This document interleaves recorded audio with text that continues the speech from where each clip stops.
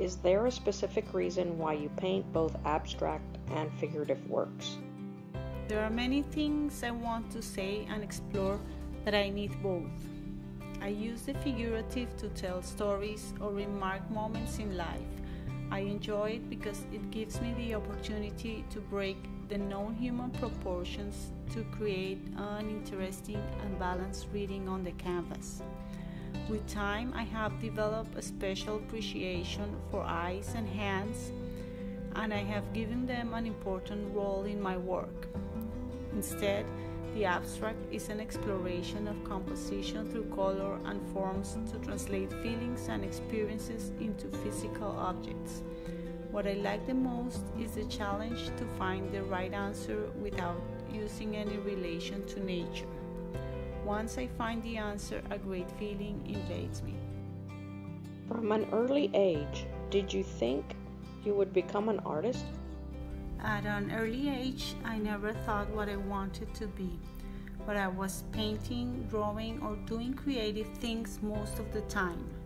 Later in college, I knew I wanted to do something creative and I tried different visual areas as graphic design and illustration until I found myself in painting. But sometimes I still do illustration. I enjoy playing with it because the media I use is different as is the purpose. Doing this refreshes my mind and keeps me away from repetition. Is there a color that means more to you or that is your favorite?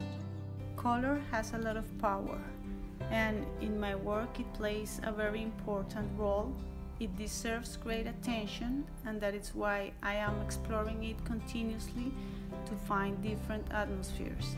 Each color has its own feeling, but what is great about it is how its meaning can change depending on which color is next to it and the proportion it takes related to the space. There are colors that stay with me for a certain time and that can be read in my work and green is a color that I don't use very often. My favorite one is blue. Being from Bogota, Colombia, and living in Houston for many years, how does that translate into your work? My hometown, Bogota, Colombia, and Houston, Texas are very different.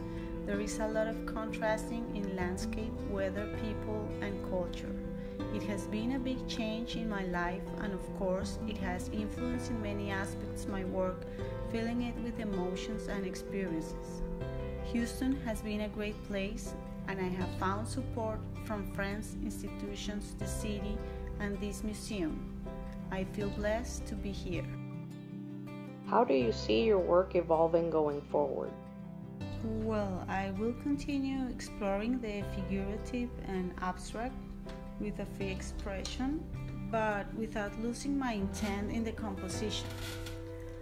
I'll keep searching opportunities and challenging myself because it is there where my work can move forward. And I'm always curious how my next painting is going to be. What advice can you give artists starting out? to learn the rules and to pay extra attention to things, experiences that bring emotions, whether good or bad ones. The point is to start being aware of these things and events near you. And is that what will lead you to develop a more personal and honest work? What does this museum exhibition mean to you? I want to thank the Art Museum Texas for the support um, for opening the doors to my work. Also, I want to thank Anna, the museum director, for visiting my studio. It was a great experience to have the chance to share with her my work in a more personal way. Uh, having my work for the first time in a museum is a big step in my career and it motivates me to keep creating. This opportunity to reach a new audience is very important, and I hope it brings a positive impact in the community. Because at the end, everything is about sharing.